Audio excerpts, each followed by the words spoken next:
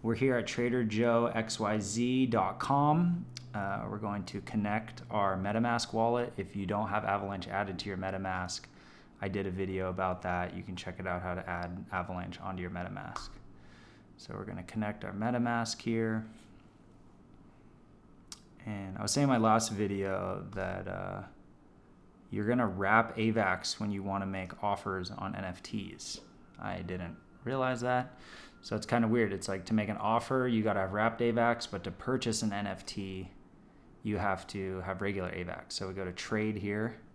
We got our AVAX to wrapped AVAX. Ching. We're going to do, I don't know, 0.05 AVAX. Let's see. It's going to charge me a little bit of moolah here. We go wrap.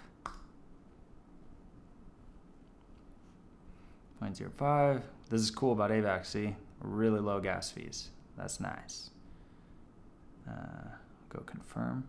And this is one of the things I've talked about in my other videos. Uh, when you start using these currencies, um, you can see when you start trading them, swapping them, you can see how cheap they are. You know, when you get on Ethereum, gas fees are insane.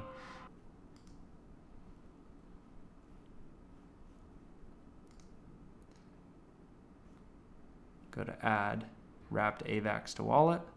Go add token. Shabam. I think that's it. Let's see here. We go to assets. Boom, there it is. 0.05 wrapped AVAX is in there. Okay.